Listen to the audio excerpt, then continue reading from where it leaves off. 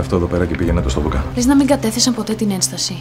Έχει μέσα το τηλέφωνο του δικηγόρου και συγκεκριμένες οδηγίες για το τι πρέπει να του πει. Ξέρεις πως εγώ είμαι το μέρος σας. Να τους αφήσω να συνεχίσουν να υποβάλουν ενστάσεις; Εδώ μιλάμε για εξαπάτηση. Ήρθα να κάνουμε μια καθαρή κουβέντα.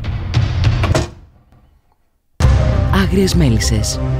Απόψε στις 11 παρά τέταρτο και κάθε Δευτέρα έως Πέμπτη στον Αντέννα. Η απόφαση που πήραμε με τον Λάμπρο να έρθουμε εδώ ήταν το μεγαλύτερο λάθος της ζωής μου.